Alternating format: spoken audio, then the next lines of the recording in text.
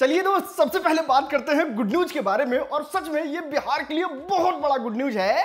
हम आपको बता दें, हिंदुस्तान में बिहार जो है वो दूसरा राज्य बन गया है, जहाँ पे एक हज़ार लड़कों पे एक हज़ार नब्बे लड़कियाँ हैं। दोस्त, सही बता रहे हैं, बिहार में बहुत सुधार हुआ है। 2011 में जब सर्वे हुआ था, उस वक्त हम आपको बता दें, एक हज़ार लड़कों पे मात्र 918 लड़कियाँ थी।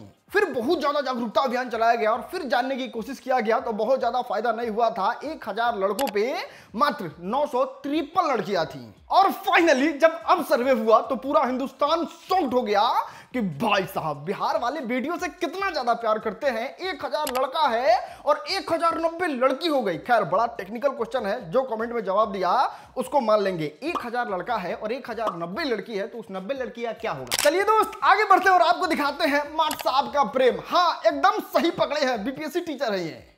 बताइए माट साहब के अंदर कितना ठड़क भरा पड़ा है। पढ़ाते पढ़ाते इनको आठवा के लड़की से प्यार हो जाता है। और हे डिजिटल जमाना में लव लेटर लिख के भेजे थे लड़की को। लड़की जाके घर वाला को दिखा देती है। आ घर वाला पूरा गाँव वाला मिलके माट साहब को एकदम हनुमान जी बना देता है मरत मरत मारो हमको मारो। हमको ज़िंदा मत छोड़ो सालो। चलिए दोस्त अब बात करते हैं पप्पू यादव के बारे में। कल वाले वीडियो में तो दिखाया ही था किस तरीके से लॉरेंस बिश्नोई का फ़ोन इनके पास आ गया था और अब पप्पू यादव जो है, वो पूरा सरकार से मांग कर रहे हैं कि देखिए, हमको खतरा है और हमको जेड प्लस सिक्योरिटी दे दीजिए। और ये जेड प्लस सिक्योरिटी जो है ना, वो वही होता है। जो अंबानी साहब को ना, वो वाला सिक्योरिटी, या फिर जो सीएम साहब को मिलता है, वही वाला सिक्योरिटी जो है, वो अब पप्पू यादव को भी चाहिए। और इसके लिए बड़ा मशक्कत कर रहे हैं। गृह मंत्रालय को चिट्ठी लिख चुके हैं। सीएम से बात करने का कोशिश कर रहे हैं। आईजी डीआईजी फलना चिल्ला सब करके थक गए हैं लेकिन सिक्योरिटी मिला था। मैंने तो डीजी साहब से कही। मैं आजी से कहा। मैं सीएम साहब से कई बार मिलने का प्रयास किया। खैर अगर पप्पू यादव की बात करें तो इनके पोस्ट के अनुसार पता नहीं ये देश किन चीज़ों का फौज है तो फिर उस फौज में से ही जेड प्लस सिक्योरिटी लेके क्या कीजिएगा? अपने से सुरक्षा कर लीजिए। चलिए दोस्त, अब बात करते हैं अभिनव अरोरा, द बाबा के बारे में। और अब इनको भी इहो के चाहिए जेड प्लस सिक्योरिटी क्यों? हम आपको बताते हैं, ये इनकी माँ है और इनका कहना है कि हमको भी हाँ हमको भी जो है, रात में फ़ोन आया था लॉरेंस बिश्नोई के गैंग का और वो कह रहा था कि इस बाबा को छोड़ेंगे नहीं और इस चीज़ को लेके इनके मम्मी पापा बहुत परेशान हैं और सरकार से सुरक्षा की मांग कर रहे हैं। मीन्स इनको भी जेड प्लस सिक्योरिटी मिल ही जाना चाहिए, इतना ही नहीं। ये बाबा जो है ना, वो सात यूट्यूबर पे जो है, वो केस किए हैं, जिसमें 80 वीडियो का लिंक है, जिसमें अब यूट्यूबर्स पे मुकदमा होगा और यूट्यूबर्स को जेल का चक्की पीसना पड़ सकता है। भाई, हम भी वीडियो बनाए हैं, पता ना मेरा क्या होगा। राधे! चलिए दोस्त, अब बात करते हैं यामिनी सिंह के बारे में। बहुत सारे लोग लिटरली बहुत सारे लोग बेचैन थे और ये कह रहे थे, अनुमान लगा रहे थे कि अब यामिनी सिंह भी आकर भयंकर एक्सपोज करेगी खेसारी लाल यादव को। और फाइनली यामिनी सिंह आ गई मैदान में और वो भी खड़ा होकर मोर्चा संभालने लगी और आते आते सबसे पहले काजल रखवानी को लपेट दिया और कहती है कि अच्छा आपका जब रिश्ता इतना ही ज़्यादा खेसारी लाल यादव से खराब था तो आपको क्या ज़रूरी था मंच पे चुम्मा चाटी करने का?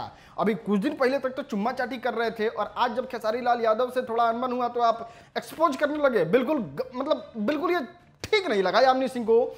इतना ही नहीं, हम आपको बता दें, काजल रगवानी ने एक और आरोप जो है, वो लगाया था यामिनी सिंह पे, जिसमें काजल रगवानी बता रही थी कि यामिनी सिंह और खेसारी लाल यादव का पहले चक्कर वक्कर चल रहा था। इस पे भी यामिनी सिंह क्लियर होकर बोली कि एक एक सबूत दिखा दीजिए, जिसमें हम खेसारी लाल यादव के साथ काम करने के अलावा हैं और जहाँ तक रहा रिलेशन का बात तो जब हम लंदन गए थे खेसारी लाल यादव के साथ फ़िल्म करने, उस समय तो हम खुद काजल लगवानी को वीडियो कॉल करके बात कराए तो हमको प्यार रहता तो हम काजल लगवानी को कहा वीडियो कॉल करके बात करवाते, और इतना ही नहीं। पवन सिंह के तारीफ़ का लंबा लंबा पुल बाँध रही थी कि भोजपुरी फ़िल्म इंडस्ट्री में पवन सिंह से बढ़िया गाना कौन गा देगा और उनके प्लेलिस्ट में भी पवन सिंह है भाई। मेरे तो प्लेलिस्ट में रहता है, क्यों नहीं सुनूँगी मैं? ए वो गाना है ना, मेरा फेवरेट गाना है वो। मोहब्बत कर गई लकिया कितना बढ़िया गाना है कुल मिला के यामिनी सिंह भी साथ नहीं दिया काजल लगवानी का, जिससे काजल लगवानी को बहुत ज़्यादा उम्मीद था। वो तो अलग पवन सिंह का गुण गा रही है और खेसारी को भी गलत नहीं कह रही है। चलो दोस्त, अब बात करते हैं पूरब झा के बारे में। सच में भोजपुरी फ़िल्म इंडस्ट्री में मात्र एक वीडियो से रिकॉर्ड सेट कर दिए पूरब झा और इतना ज़्यादा व्यूज़ अगर इतना ज़्यादा बड़ा रिकॉर्ड भोजपुरी का कोई सुपरस्टार बना लिया होता तो पता नहीं अभी भोजपुरी फ़िल्म इंडस्ट्री में क्या माहौल बना होता, क्या है रिकॉर्ड वो हम आपको बताते हैं। फिर आप अपने अपने भोजपुरी सुपरस्टार से इस चीज़ का तुलना कर लीजिएगा। अभी पूरब झा का वीडियो जो है, वो नंबर वन ट्रेंडिंग पे है। पूरा मिर्जापुर के गुड्डू भैया, कालीन भैया अपना ताकत लगा लिए हैं, लेकिन भोजपुरी के वीडियो को नहीं उतार पाए हैं, जो पूरब झा का है नंबर वन ट्रेंड पे मौजूद। इतना ही नहीं बस एक दिन में आठ मिलियन व्यूज़ आ चुका है पूरब झा का और लगभग नौ लाख लाइक है। और हाँ बिहार में तो भोजपुरी का चर्चा पूरब झा के वीडियो से हो ही रहा है पूरे हिंदुस्तान में हो रहा है और इंस्टाग्राम का तो चक्का ही जाम हो गया है। पूरब झा के वजह से कुछ इस तरीके का भोजपुरी का वीडियो बना दिए हैं। अपन बाप के मुँह पीले ह। तो लड़ इस मर्द से। हाँ तो भोजपुरी के सभी सुपरस्टार ध्यान दे जितने लोगों ने यह भरम पाल के रखा है कि वो है तो भोजपुरी है, उसको निकाल के साइड कर दीजिए, क्योंकि पूरब झा कभी भोजपुरी के वीडियो नहीं बनाते थे, उन्होंने भोजपुरी पे वीडियो बनाया, इसलिए आज उनका इतना ज़्यादा चर्चा हो रहा है। सब लोग भोजपुरी से हैं, किसी के वजह से भोजपुरी नहीं है। लोग आएगा और चला जाएगा, भोजपुरी जैसा था, है, वैसा ही रहेगा। चलिए दोस्त, अब बात करते हैं खेसारी लाल यादव के नए वाले गाने के बारे में और क्या कायदे से बढ़िया से जवाब दिया है काजल लगवानी को, ऐसा सभी लोग कह रहे हैं। और आपको भी लगेगा, जब आप ये गाना सुनिएगा, खेसारी लाल यादव के इस गाने का लाइन कुछ इस प्रकार से है तोहर नाम भइल हमारा वजह से हम बदनाम भइनी तहरा वजह से, कुछ इस तरीके से मुख्य लाइन खेसारी लाल यादव ने उस गाने में गाया है। इतना ही नहीं, खेसारी लाल यादव उस गाने में यह भी कहते हैं कि वो जो है वो सारा मेरे बारे में झूठ बोल रही है, उसको मेरा खुशी देखा नहीं गया। और इतना ही नहीं, ये भी कह रहे थे उस गाने के माध्यम से कि देखने में जितनी भोली लगती है ना, वो दुनिया के नज़र में ही है, अंदर से कितना सातिर है वो हमको आज जाके पता चला। और ये सब कहते हुए खेसारी लाल यादव एकदम दुख में है, पीड़ा में है, और उस पीड़ा में हीरा का काम कर रही है लड़की। ना, कोई कह देगा ये गाने का शूटिंग का है?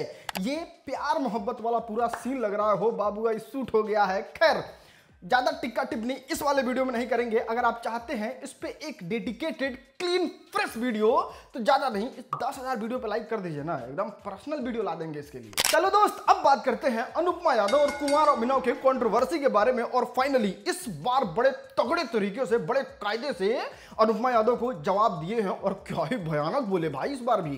तुमको दिख रहा है तो लव यू बॉस ये क्या है? क्या है लव यू बॉस अरे भाई काम करो अपना गाने के दम पे नाम बढ़ाओ। और love you boss love you boss जिसको ये कहती थी आज उसी के खिलाफ जाके नेशनल चैनल में बोल रही है। चलिए दोस्त अब बात करते हैं दिलजीत दोसांझ के बारे में। इनका हरकत अब लोगों को बिल्कुल अच्छा नहीं लग रहा है कि ना अभी ज़्यादा करता रहा बबू देखो हुआ क्या हम आपको बताते हैं। दिल्ली में जो है इनका शो हुआ जिसमें लाखों लोग जुटे हुए थे और बहुत सक्सेसफुल तरीके से हुआ। लेकिन इस सक्सेसफुल तरीके से उस पूरे शो को कराने के लिए बहुत चीज़ों का कुर्बानी दिया गया, जिसमें बच्चे जहाँ प्रैक्टिस करते हैं उस जगह को पूरा छेक लिया गया। वहाँ पे दारू वारू का बोतल था, सारा सामान बिखरा पड़ा था। इन लोगों के प्रैक्टिस करने का मतलब जितने भी एथलीट होते हैं ना, इनके प्रैक्टिस करने वाले चीज़ों को तोड़ दिया गया था। और जब सुबह सुबह एक बच्चा प्रैक्टिस करने गया तो देखिए उसका भाव किस तरीके से छलक के बाहर आया। और चार साल बाद जो सोशल मीडिया पे विद्वान है, उनको याद आएगा कि ओलंपिक्स भी कुछ होता है। इंडिया के मेडल क्यों नहीं आते? इतनी पॉपुलेशन है। चलिए दोस्त, अब हम आपको दिखाते हैं YouTube का एक अजीब सा अपडेट जिसको देख के आपका भी मूड खराब हो जाएगा। देखो YouTube जो है वो प्लान कर रहा है कि अब कुछ दिन में हम YouTube पे जो आपको होम पेज पे वीडियो दिखाएँगे ना ना उसका डेट मेंशन होगा कि कब आया है ये वीडियो और ना ही उसका व्यूज़ मेंशन होगा। सीधे आपके सामने नेटफ्लिक्स की तरह वीडियो दिखेगा क्लिक कीजिए अच्छा लगे तो देखिए व्यूज़ व्यूज़ से और डेट से आप डिसाइड नहीं कर सकते हैं कि आपको ये वीडियो देखना है कि नहीं देखना है और ये चीज़ बहुत सारे लोगों को अच्छा नहीं लगा कि हैं, जो है वही रहने दो ना, क्यों यार इधर उधर का कॉपी कर रहे हो? खैर, ये वाला अपडेट आपको कैसा लगा वो नीचे कमेंट करके ज़रूर बताइएगा। चलो दोस्त अब बात करते हैं राजपाल यादव के बारे में। नहीं दीपावली पिन का ज्ञान सुनिए आप। जानवर बहुत डरते हैं पटाखों से। एयर पोल्यूशन होता है आसपास नॉइस बहुत होता है। इन सब के बगैर भी दीपावली प्यार से मना सकते हैं। अच्छा जानवर डरते हैं इसलिए हम पटाखा नहीं बजाए और दीपावली नहीं बनाए अरे यार ऐसा जानवर पलबे क्यों करते हो? इस तरीके का जानवर पालो। देख रहा है किस तरीके से फुलझड़ी और बम को देखने के लिए बेचारा एक्साइटेड हो गया और आप ही है ना, जो गए थे वो बिरयानी का प्रमोशन करने, जिसमें मटन को और चिकन को एकदम मुआ मुआ के उसमें डाला जाता है तो उस समय उस समय बिरयानी बनने में जानवर को बड़ा आनंद आता है। खैर दीपावली का महत्व आप नहीं समझोगे आप हालालुया ही करो।